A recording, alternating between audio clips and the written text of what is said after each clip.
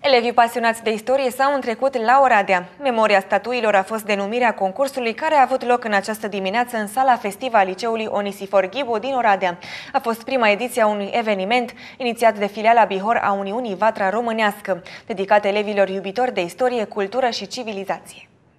Participanții trebuie să fie din clasele 9-11. 23 de licee au anunțat că vor avea acolo echipe. Școlile care vor concura vor avea câte o echipă formată din trei persoane la memoria statuilor, fiecare având parte de coordonare din partea unui profesor. Potrivit organizatorilor, întrebările adresate concurenților vor face referire, după caz, la denumirea monumentului, anul în care a fost dezvelit, locul de amplasare, sculptorul care a realizat lucrarea, aspecte relevante din biografia personalității întruchipate în creația artistică respectivă, relevanța lucrării în ansamblul operei artistului plastic sau la legătura personalității transpuse artistic. De asemenea, se va urmări legătura artistului plastic cu Oradea și Bihorul. În concursul dotat cu premii, constând în cărți și diplome, se va aborda și chestiunea destinului unor monumente care nu se mai regăsesc astăzi în spațiul public orădean, precum și cea a lucrărilor de artă monumentală care vor îmbogăți patrimoniul artistic orădean.